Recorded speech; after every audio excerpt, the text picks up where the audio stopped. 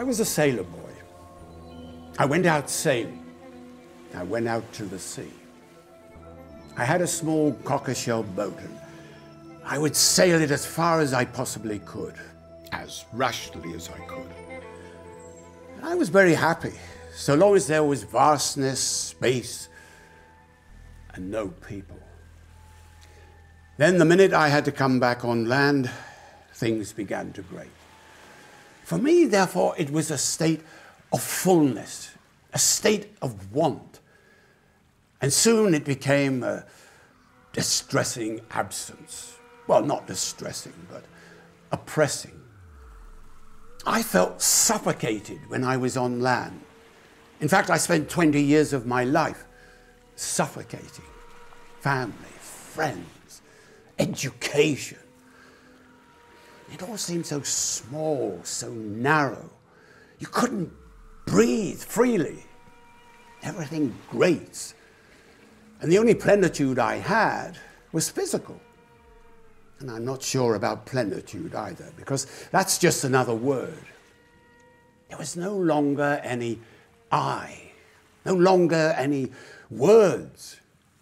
I just felt at ease with myself when I was on the sea. Terrible when I came back on land. The trouble is, you can't spend all your time on a boat. Looking back on all that, one could say, well, yes, it was just growing pains. People came up with all sorts of uh, psychological explanations. But for me, it was only one thing a want. A child has a want of something. I often feel that whatever I may have found today at 57, I used to live it, breathe it, when I was six or seven years old on the sea in Brittany.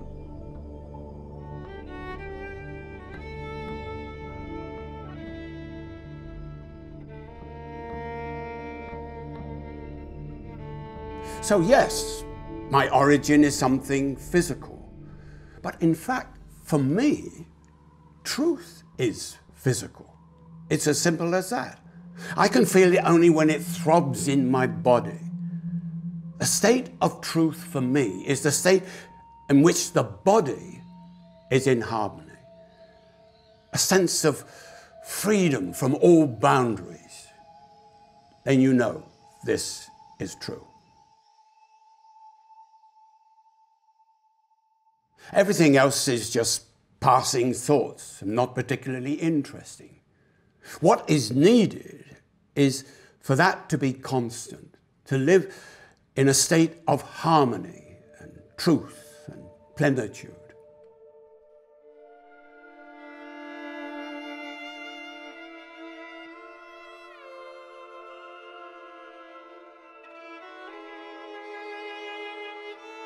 I had a super religious education. My father was a very religious man. In fact, thanks to him, I was disgusted with religion forever. I felt imprisoned. I felt they were trying to put something over me. And all my life, from a very early age, I've never been able to be imprisoned by something. It was in my very chromosomes, or whatever you want to call it. To feel imprisoned was unbearable. I couldn't stand that uh, religious influence from my father and family. They sent me to a Jesuit school, and I hated religion. I hated anything that would confine you. A church meant a building, and for me to go and sit in a building was the first lie. I felt life when there were no walls. Then you knew a certain rhythm that made it easy for you.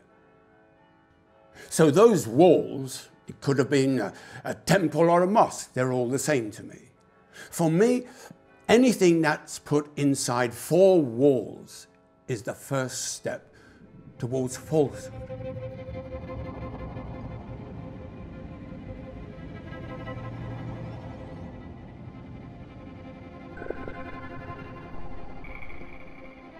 I was just 20 when I was in a concentration camp. I'd been arrested by the Gestapo. I was a member of the resistance. And we had been betrayed. There was a member of the German counter-espionage in our ranks, and we didn't know it. So I was on a sort of mission to warn my fellow comrades and agents of this man's betrayal. But the man I was warning was also a traitor. And as soon as I left his house, he telephoned the Gestapo. And I'd gone about 500 feet from his house, about to get on a streetcar, when suddenly a car from the Kriminalpolizei came to a screeching halt in front of me. Out jumped two men, pistols in hand, and arrested me on the spot. It was a bit like a movie, really. But they took me to prison. And then it began.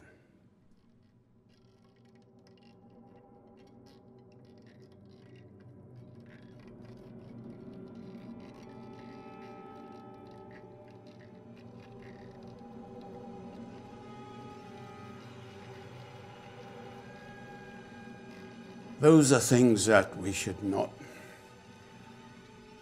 there are things we should not talk about.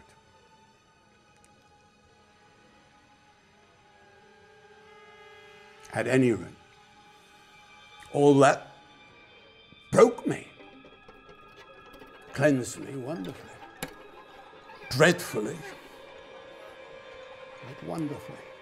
Because you see, how many years would it have taken me to get rid of all that social, intellectual, cultural clothing? All the things that had been heaped on me for 20 years. Well,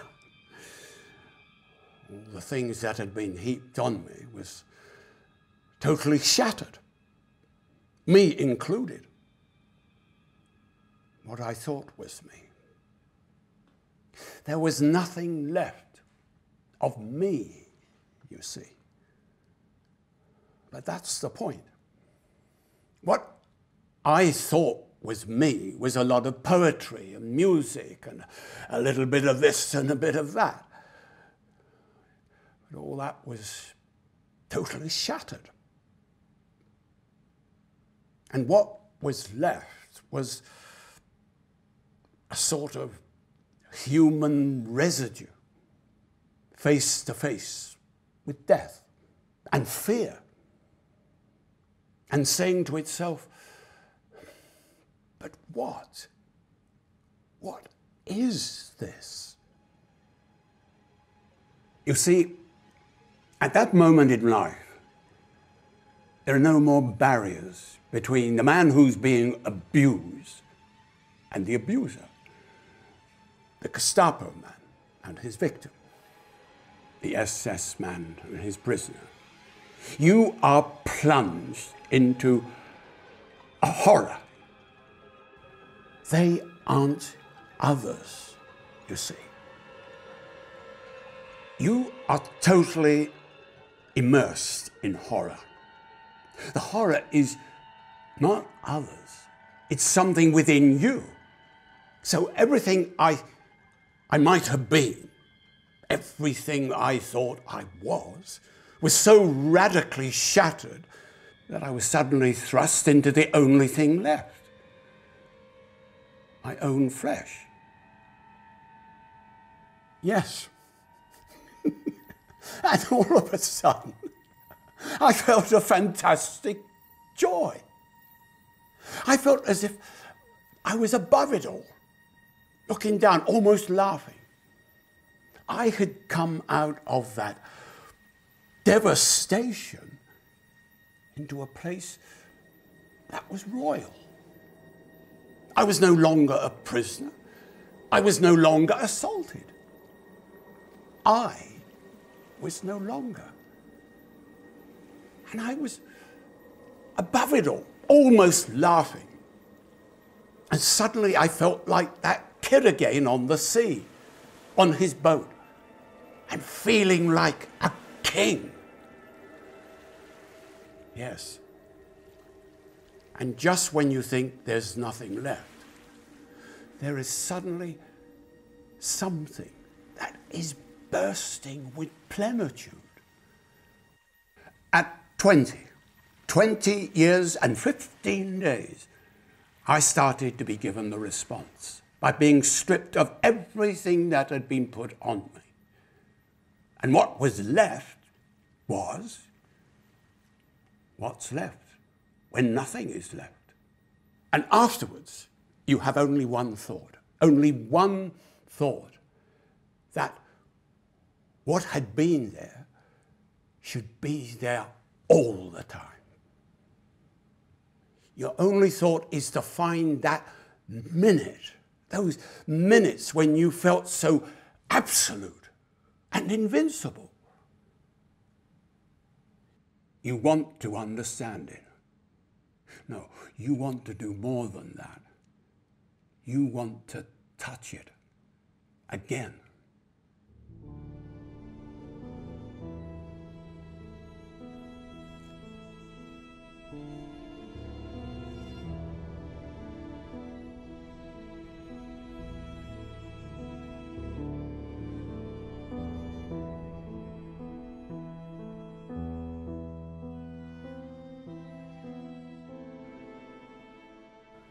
For me, a period after the camps was probably more dreadful than during the camps. I had a few difficult years, wondering whether I was going to survive or not. Because you see, that minute, those minutes, months, when that force was holding me, it was gone. I found myself back in everyday life. But I was a devastated man. So, how do you hold up then? For a long, long time, I had moments of disgust, very destructive urges. It was a shattered life. What had I to look for? What had the West to offer me? Nothing was natural anymore. I felt I was on another planet and it was unbearable. I had become a member of the École Coloniale in Paris. I had a cousin who had just become governor of Pondicherry in French India. And one day he said to me, How would you like to come to India with me? It was my salvation. I really didn't know what I would have done in Paris. He took me with him. It was my salvation.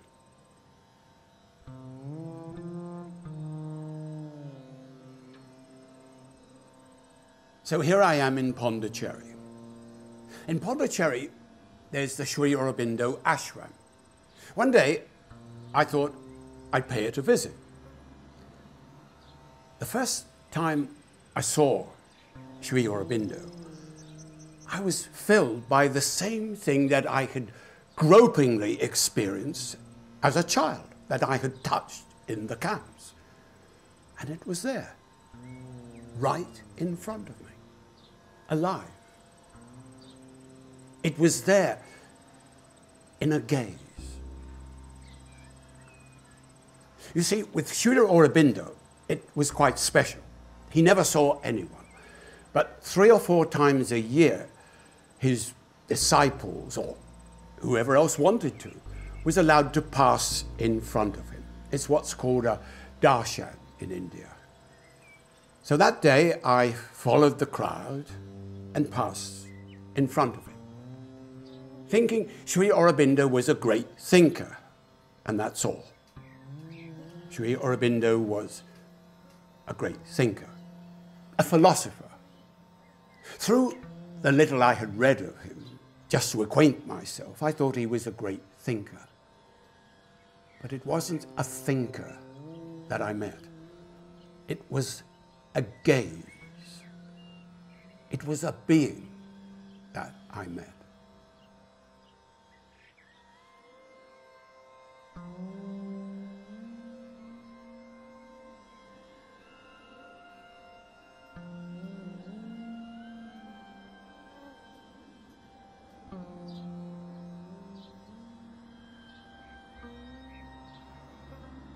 He was seated in a large armchair with mother beside him, and there was a sort of procession.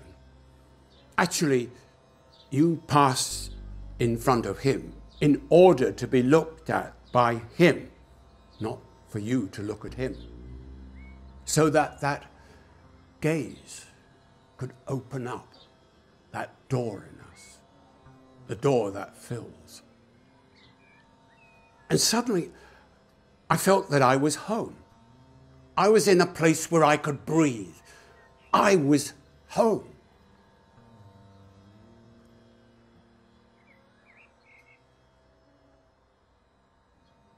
It lasted, oh, I don't know, about four seconds.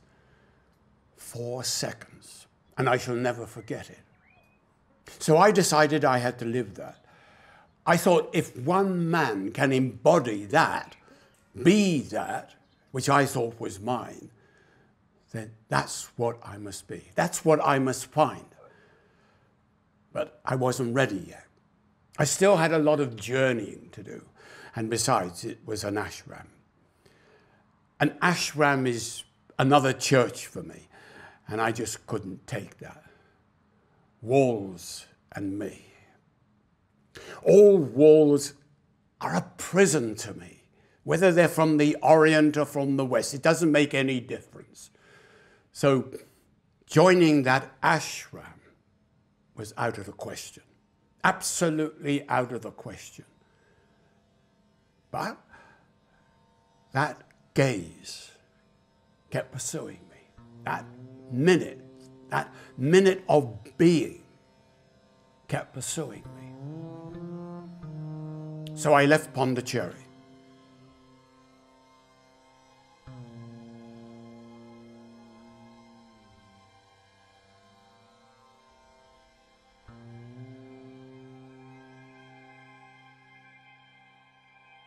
First, I went to Paris. I had no idea what I was going to do. But one day I was walking down the street and I passed a travel agent. And in the window of this travel agent was a large map of the world with shipping lines marked in red. So I said to myself, um, this one at the end of that line was Cayenne. So, good. Cayenne is where I'm going. Now, Cayenne is in South America. It's where the French government used to send all its prisoners, and it's hell on earth. And I was delighted. I thought, good, I'll go there. I'll go to hell. I'll go to the bottom of hell just to see what's in it. Because you see, in my romantic imagination, Cayenne stood for all sorts of hellish things. I thought, I'll go there. I'll go right to the bottom of hell and I will experience the same thing as I had experienced in the camps. I just want to be that. So I bought a steerage ticket and I went to Cayenne, just like that. And that's where I discovered something marvelous. I roamed through Guinea with the life divine as my only baggage. Oh, and my Parisian shoes. And that's how I arrived in the jungle. Well, I had a few difficult days because you arrive in the forest with your Parisian shoes, and you're suddenly face to face with an element. And for a few days, that I'm not quite sure how to put this, but I don't think I was afraid because I'd done enough things in my life not to be afraid anymore. But I had no idea what the jungle was. Well, I didn't know, did I? I didn't know how to live anymore. Much as in the camps when I had been humanly broken. For the first few days, it was a physical ordeal. And suddenly you feel like a drowning man. When you're faced with that, you have no idea what the jungle can be. It's an awesome, teeming, frightening world. There's lots of snakes. There's lots and lots of snakes. In fact, that's what made me. You can't walk three feet without meeting one. There are lots and lots of snakes. But it is such a fantastic world. So for a few days, I felt I was completely uprooted from my body. I didn't know where I was physically. And all of a sudden, a sort of understanding took place between me and that forest. And I lived there. I lived for a whole year deep in the jungle. But I was still a good little middle class Western boy. Despite everything, I'd had a very good French education. And there I was in the middle of this cataclysm. It isn't a human world. It's really like entering another world. And that's why you feel shipwrecked. And suddenly I laughed. And I thought, well, if I put my foot on a snake, then I put my foot on a snake. And if I put my hand on a snake, then I put my hand on the snake. And I don't give a damn. And the moment I don't give a damn came from my heart, from my guts, it was over. After 10 or 11 months, I was truly happy. I had running moments of which I was airborne. I felt so light when I was in contact with that element. Then, I don't know the exact circumstances, but one day I said to myself, Goodness, you're becoming a prisoner. You're becoming a prisoner of this forest. You're hooked. You become a bourgeois of the forest. That really gave me a job. And three days later, I was on my rowboat. It was over. I went back to Cayenne and decided I'd go to Brazil. I don't know what happened. I said, You're a prisoner. I had put on another suit of clothes, the clothes of a man of the woods. And I was very happy going round and round and round. And I could have stayed there 30, 40, 50 years and probably died there. And then what? My secrets still eluded me.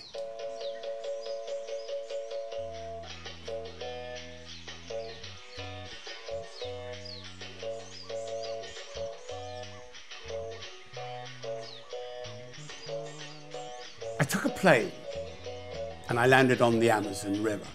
There I had all sorts of new adventures. But I was in a bit of a dilemma in Belem. I was tempted to take a boat and go up the Amazon River.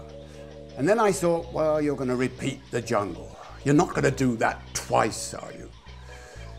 So I left Belem. I got trucks and all sorts of different transportations. And then I thought I'd go to the interior of Brazil and just see what happens. On my way from Bahia, I went through what they call the Sertão. It's a, it's a sort of desert like region in the middle of Brazil. And I came down with a terrible fever in my truck.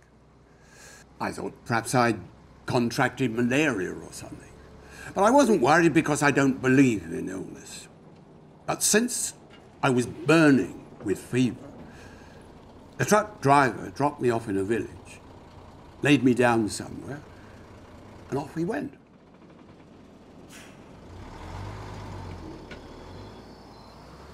So, that was another kind of ordeal. I didn't have a penny left. I hardly knew three words of the local language and I had a fever, whose cause I didn't know. But it just so happened that some planters were passing through the village. And someone's saying there's a gringo over there, and he's sick. And those planters just happened to be French. Well, I don't know if you can imagine. In the middle of Brazil, in some remote village, some French planters are just passing. And someone saying, there's a gringo over there, and he's dying. Will you do something?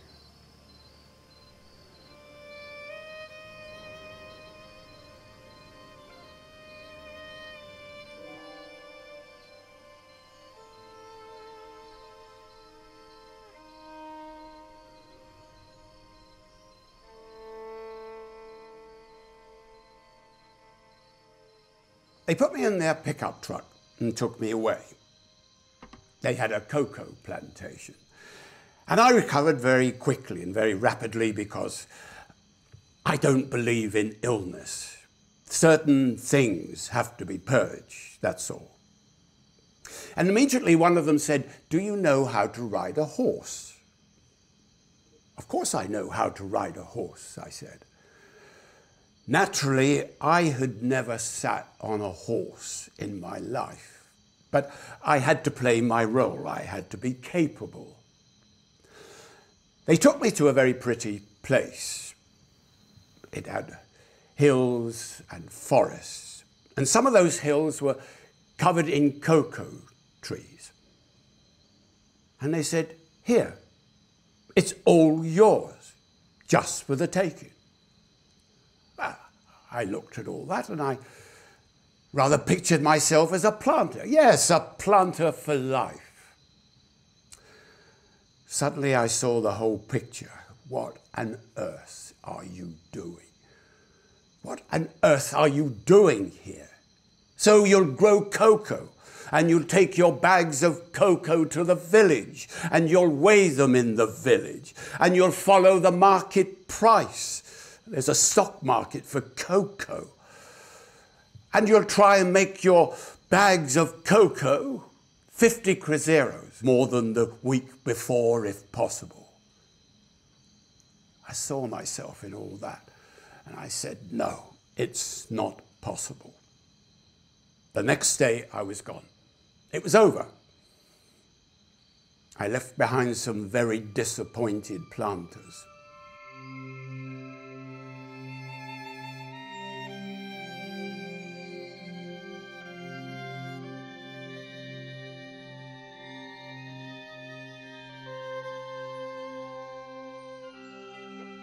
And I went south to Minas Gerais. I had to earn a living, I had nothing. Minas Gerais is just north of Rio de Janeiro. I became a prospector of mica. There are mica mines in Brazil, a lot of mica mines in Brazil. And mica just happens to be a rare mineral. I started to prospect for mica for a local company who had a field office in some remote village that you could only get to on horseback or by jeep. I prospected for mica for about five or six months. The company was owned by an American, an American from Boston, an elderly American, and a very nice man. But one evening, I looked at all that.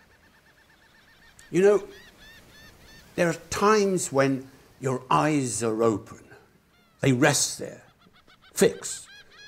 Everything is sort of engraved. You don't know why, you don't know how. My eyes were fixed on that little beach and on that very pretty Brazilian girl lying beside me, and the mica mines over there, and the yacht waiting for me. And I thought, what are you doing? What on earth are you doing? I couldn't take a minute more.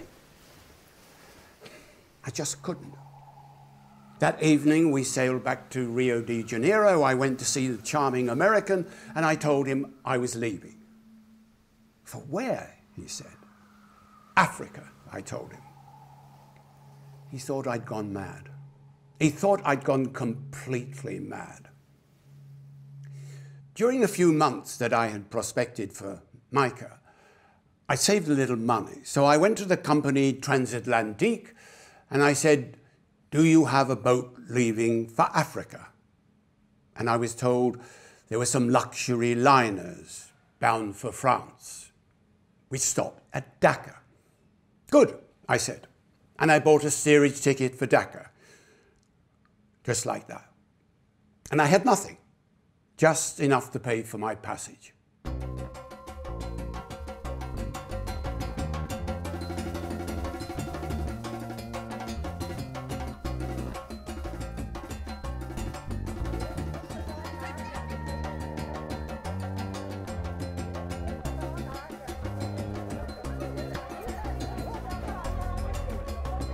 When I arrived in Dakar, I had to find a hotel.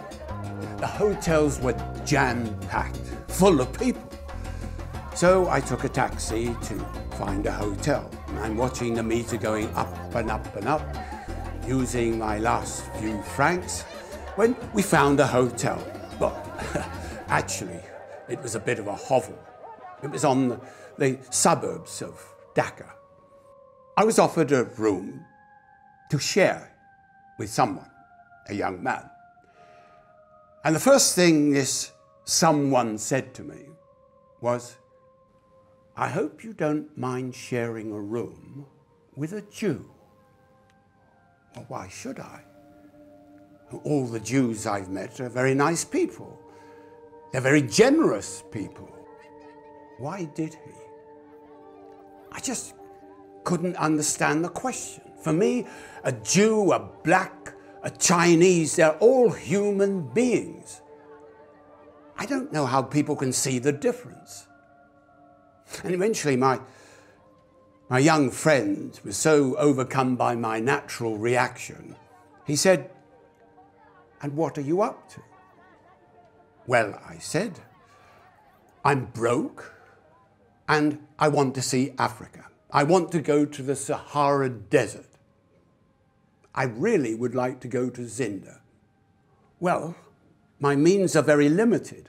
I sell Larousse dictionaries to blacks. But if you like, we could sell Larousse dictionaries together. The proposal seemed a bit odd. I mean, I just couldn't see myself selling dictionaries. But then I thought, why not? I've come so far. So we traveled from village to village, truck to truck, we went to Dahomey, Niger, the Ivory Coast. We traveled out, all the while selling dictionaries. which actually sold very well and allowed us to travel even farther. So I arrived in Zinder with my obsession. I wanted to touch an element. All my life, I've always been able to breathe in an element, to experience an element. The rainy season had started, and I was told the road is closed. So I was stuck there, right in the middle of Africa, unable to realize my dream, which was to plunge body and soul into the Sahara Desert and lose myself a little. I quite like losing myself a little, losing myself. So, no desert. I was stuck in Zinder.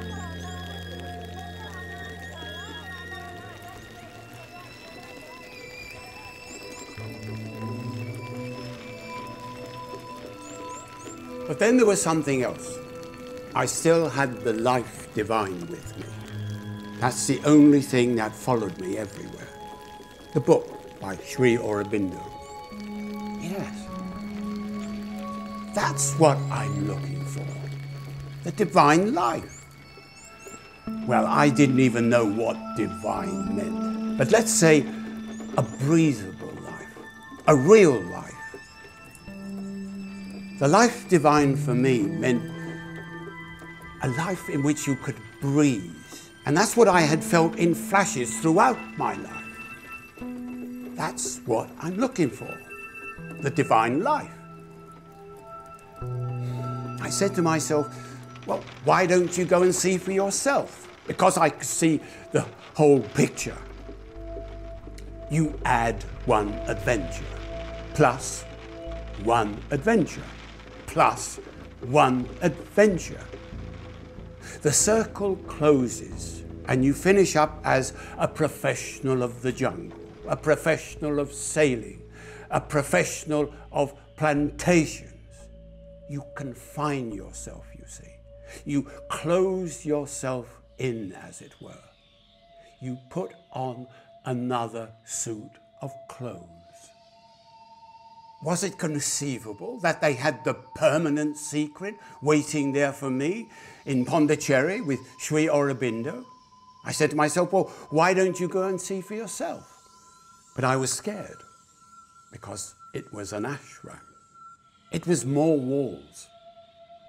But I felt at least there's one person there.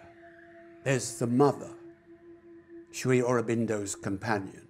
Perhaps there's a secret waiting for me. So I bought a plane ticket and I went back to India to find that secret, but not just a fleeting secret, the secret that would be there all the time, every minute of the day, something free of any clothes, something natural.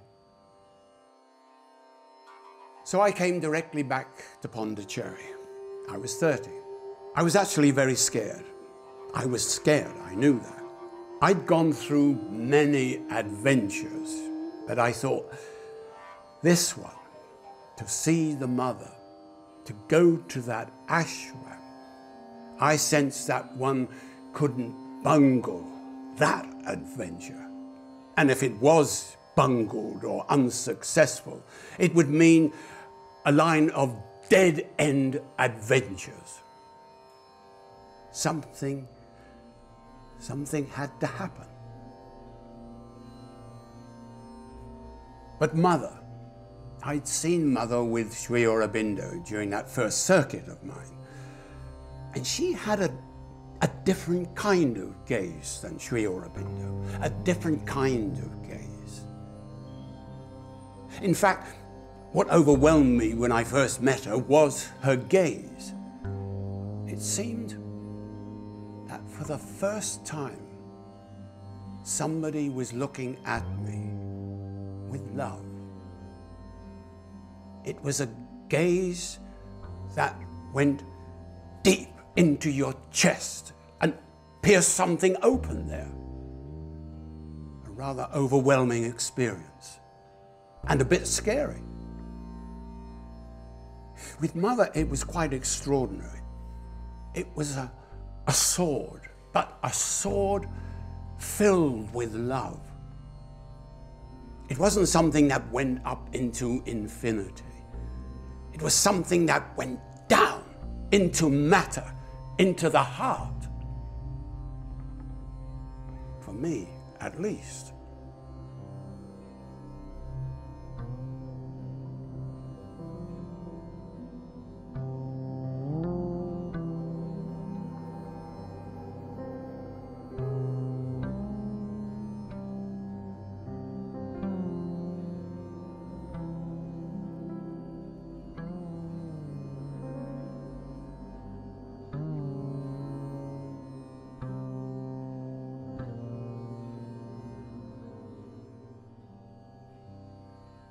So I arrived in Pondicherry, and I really didn't feel comfortable. I dreaded that ashram. I remember walking along the seashore one day, and there were some catamarans beached on the sand, and I hid behind one of them to smoke my last cigarette. And I said to myself, Well, my dear fellow, this is your last cigarette. You're going to join an ashram. But I'm stubborn. I'm Breton. I said, you're, you're going to stay for two years. You're not going to leave after the first obstacle. So I stayed. But I fought with mother. I fought with mother for two or three. I fought with mother for six years. And I would leave the ashram. And then I would come back again. And then I would leave again. I had met a sannyasi.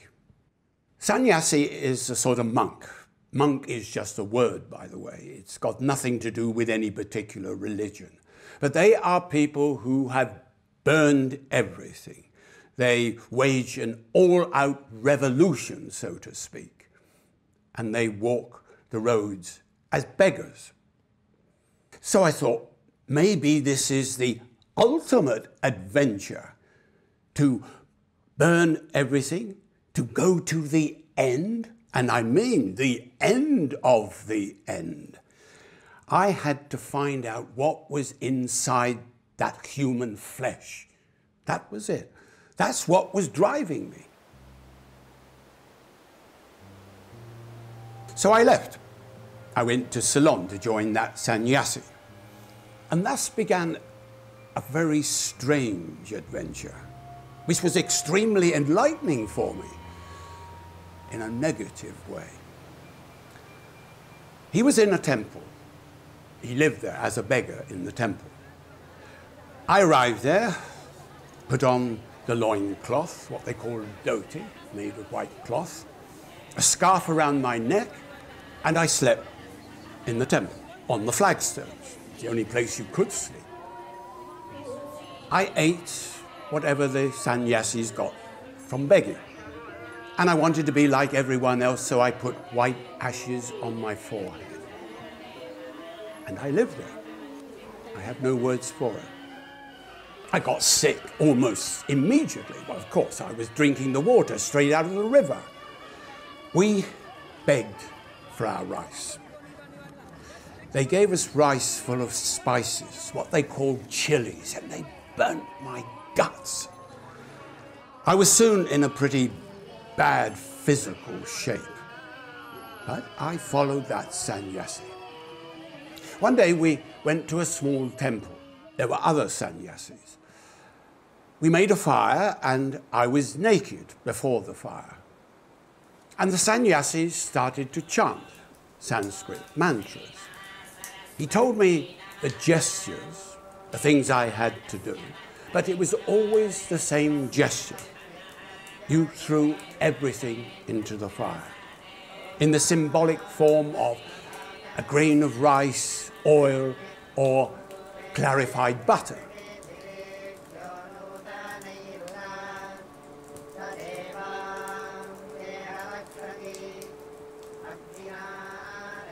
You threw everything. You even threw mental realization. You threw every possible realization. You put good. You put evil. You put joy. You put sorrow. All the yeses and nos of the world. You threw everything. I don't want joy. I don't want sorrow. I don't want good. I don't want evil. I want the thing that is, the thing that does not change, the thing that does not vary.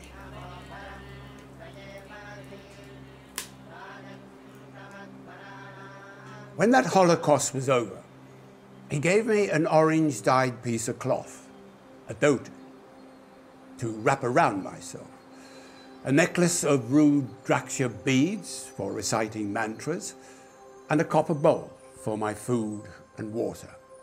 And I was nothing except that beggar who had burned everything. Then I wandered the roads. I did all sorts of things. Then I went to the Himalayas and I traveled some more. But fairly soon something happened. What I wanted is something that is, that is true, you know. And that grace, which is always there, gives you answers.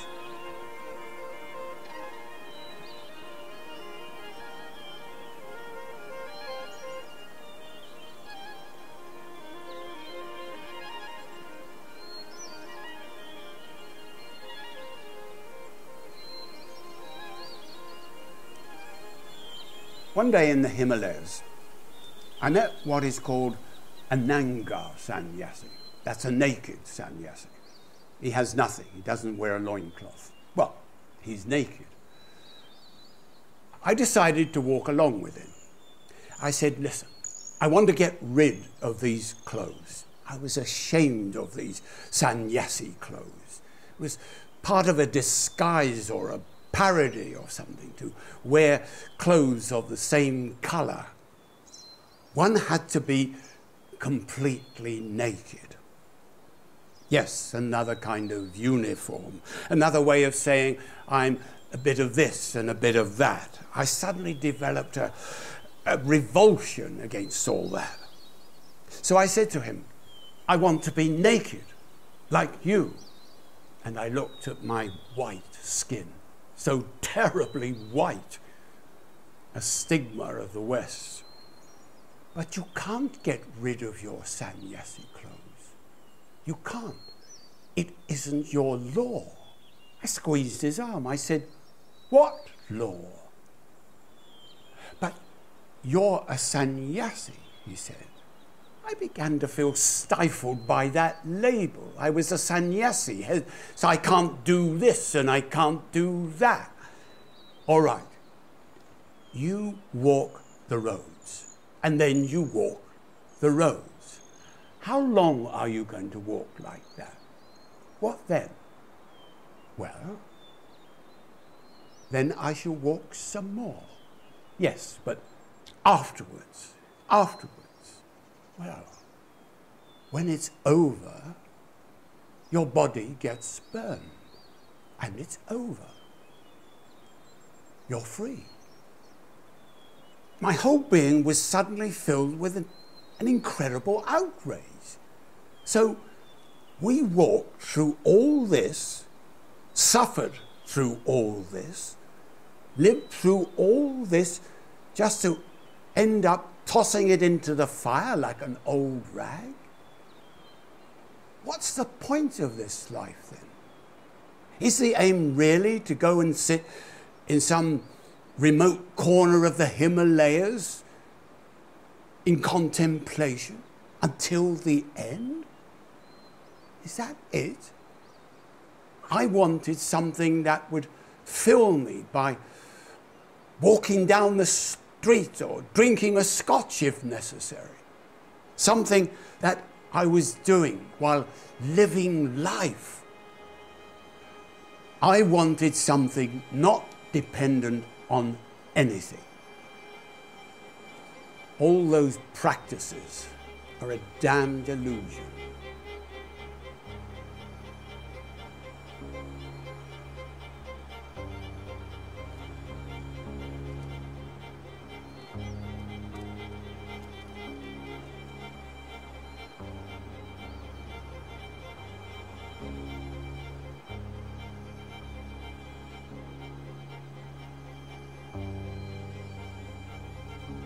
And that's where that sword, that sword of light that Mother's gaze was, drew me back. Because it wasn't something that soared upwards and left you with a feeling of vastness and serenity and bliss. On the contrary, it was something that went down into your flesh and touch something open there in the depths of your being. So that gaze brought me back to Pondicherry. I said to myself, You fled. You didn't have the guts to face that. So I came back to Pondicherry. I had read some of Sri Aurobindo. Well, true, I'd read some of Sri Aurobindo, but it felt as if I was reading through the pages. So it wasn't even his philosophy that I knew very little of that really attracted me. I had finished with the intellect at 19. I had read hundreds and hundreds of books, and I realized that no answer could be found in books. And gurus well, personally, I find gurus dreadful. I can't put it any other way. And yet, this is obviously just a manner of speaking because everything is a guru. I can't stand, I can't stand those people. I see through them very quickly. I admit some of them are absolutely sincere. But look at what their disciples make of them. That's what's repugnant. They make them into divinities. And then it's quite convenient, you see. A guru. Well, my guru is there. He will do it for me. It completely relieves you from making any personal effort yourself. Ah, my guru is there. He will do it for me my guru, my guru, my guru. It's always the same old thing. That God relieves you from being, from becoming what you are. Mother said it very well. She said it's laziness. It's laziness that makes one worship. What one has to do is to become. But to become takes guts. There's no room for dozing off, you see. And that's what Mother's sword was all about. You can't doze off. You couldn't doze off. You can't leave it for someone else to do it for you. And that's why I came back. At the end of that journey, I came back to that ashram. I realized I had to get rid of all my phobias about walls and structures for her. That is. She was the one I wanted to see. And that's where another grace was given to me. But I think we all have the grace commensurate with our call. Depends on what we call.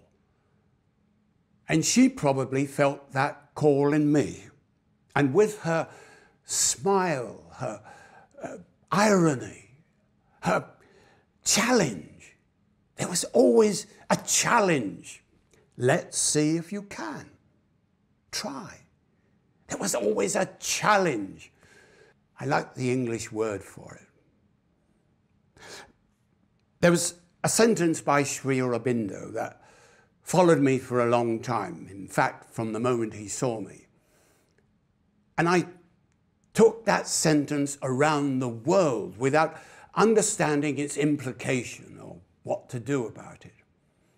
I remember he said in the Life Divine, and I'm not quoting exactly man is not the summit of evolution, he is a transitional being. If he does not surpass himself, he will be surpassed. It seemed as if he got to the heart of the question. So I came down from the Himalayas at a gallop this time to be with Mother. Because you see, some of her words too actually struck me. Okay, it's all right to say man is not the summit of evolution. We are on our way to another stage of evolution. But how? By what means?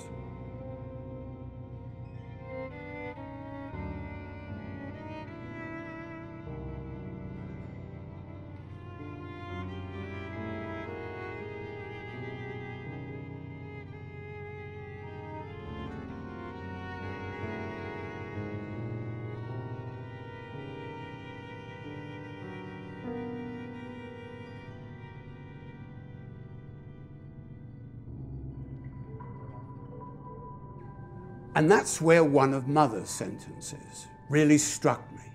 In fact, it was the key for me. One day she said, This physical body is capable of a progressive development in evolution. It's the physical body that will make the bridge. It isn't on the summit of consciousness above on a razor sharp point, so sharp that it ends up vanishing, that we move to something else. Or one moves out of humanity, out of evolution, out of everything.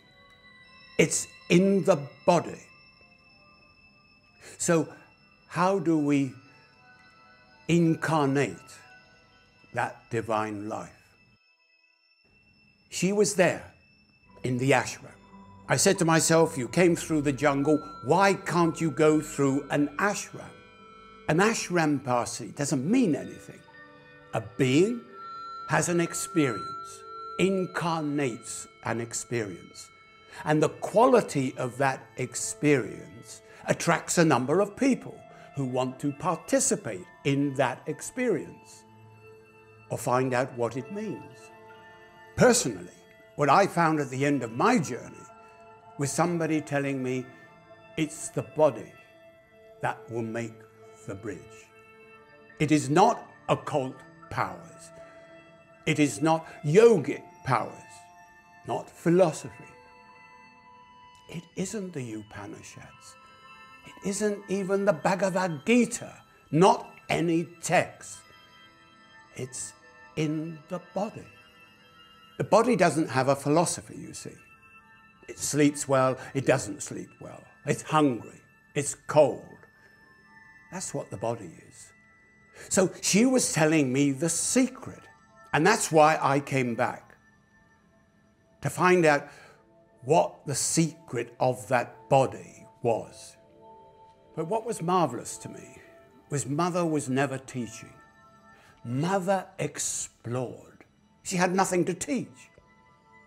She would talk to me like one does a child by telling them stories. And I would ask her any question that came into my mind. And she would answer all my questions. And slowly, slowly, she led me into her own exploration. So, what is that yoga in the body? All right, at the time it was 1960, and it was obvious that the world couldn't wait thousands and thousands of years. The problem was just around the corner. An answer had to be found.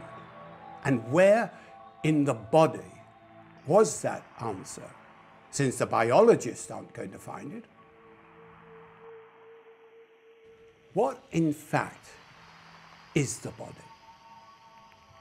It seems utterly simple, but it's the thing we know the least. What do we know about our body? We are wrapped in an accumulation of successive layers. We are physiologically prisoners. We are in a bowl, and the outside of the bowl is not death. And you don't get to the outside of the bowl by improving the instruments that belong to the inside of the bowl. One day, in the Paleozoic era, some fish found themselves in a dried up water hole. And out of necessity, they had to find a new mode of breathing. They had to get from gill respiration to pulmonary respiration. And since they were being more and more asphyxiated, they had to find a new way of breathing. Amphibians were born. They left their fish bowl. They left their bowl to find that the other side of the bowl was not death. It was just another way of breathing. It's a whole new different way of being, which Mother stammered out day after day after day for 19 years. I listened to her for 19 years. A lot of people thought Mother was becoming unhinged. It's very eccentric to get out of the human skin into another way of being. And in all this, I was the one. I realize now. I was the one who said yes. Yes, it's possible. It's the only possibility. We've had enough of the Vedas and Marxism and the Bibles and the old human stories. We must find a new mode of breathing. And that's where I plunged with Mother. Yes, plunged I was there. I was like a drowning old man trying to find a new way of breathing. And I think that all the suffering in the world, which is so stifling and on the verge of collapse, is evidence that we are nearing the point when we will be able to collectively break the fishbowl. And emerge where? In the human being, really. Something we are not yet at all.